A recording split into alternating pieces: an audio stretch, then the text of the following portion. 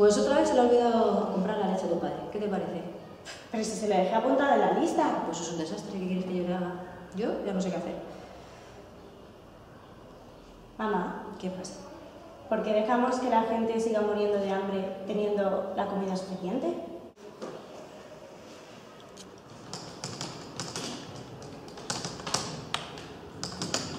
Tenemos que ir acabando ya la partida para ayudar a mamá a hacer la cena, ¿eh? Vale. Oye, papá, ¿por qué utilizamos nuestra comida para mover los coches?